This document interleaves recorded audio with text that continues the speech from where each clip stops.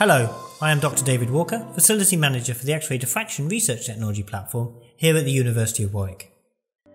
Our RTP focuses on the use of X-ray scattering techniques such as X-ray diffraction, small angle X-ray scattering and X-ray fluorescence for the characterization of the structural materials from the crystalline to the nanoscale.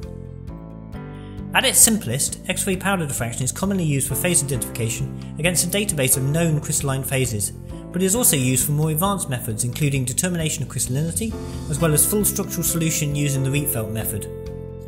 At Warwick, we are equipped with a number of powder diffractometers, each with a slightly different setup, be that high throughput or higher energy X-rays, to enable us to be able to study as wide a range of different materials as possible. We are especially well set up for non-ambient studies from 12 Kelvin up to 1200 degrees C in either air or inert atmospheres.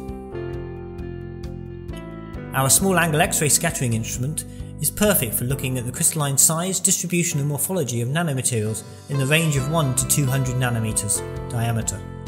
Our dedicated instrument scientist has extensive experience in running the SAXS instrument as well as modelling fitting of the data that it produces.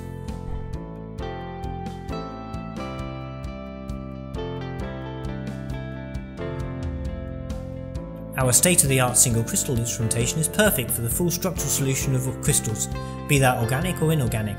Our team has extensive experience and are able to assist even with more tricky samples that may be quite small or highly disordered in nature.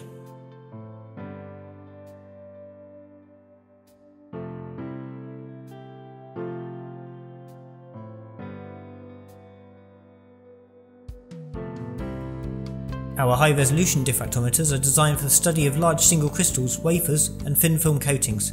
X-ray reflectivity, rocking curves, and reciprocal space mapping can all be used to study the thickness, composition, and layer thickness of such materials.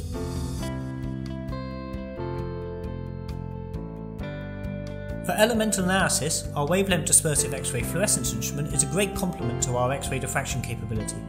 With a high power 4 kilowatt tube, we are able to measure from boron to uranium, Analyzer crystals provide the energy resolution, enabling a high sensitivity with a low background and avoiding the line overlaps which are commonly seen in energy dispersive XRF and associated electron microscopy techniques.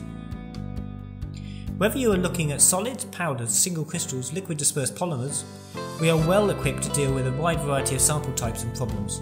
With an extensive user base, our team have encountered a wide variety of materials problems, so we're able to use this experience when looking at new material systems.